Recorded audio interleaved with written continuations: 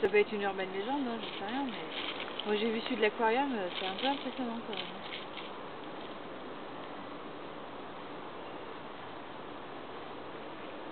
Alors, euh, tu penses caniche ou berger allemand, toi? Bah, s'ils sont nombreux, je pense que berger allemand c'est possible. Hein. Tout seul, euh, un caniche, un York, ils le bouffe d'un coup comme ça, là. T'es en train de filmer.